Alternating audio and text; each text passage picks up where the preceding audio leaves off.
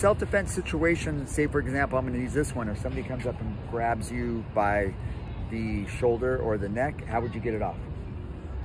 Feel it. Now, Feel it. with that, when you grab my hand, what finger were you grabbing? The pinky. The pinky. Now, here's it. Now, here's my question to you: How many pounds does it take to act, to break one of the fingers? Eight. Eight pounds. Eight pounds of pressure to break the pinky or any finger you have right there. Now, what else? What is the equivalent that somebody could practice with that was roughly about eight pounds to break as well? A carrot. A carrot. So if you go in your kitchen right now, grab it out of your refrigerator and snap it. Uh, carrot takes how many pounds of pressure? Eight pounds.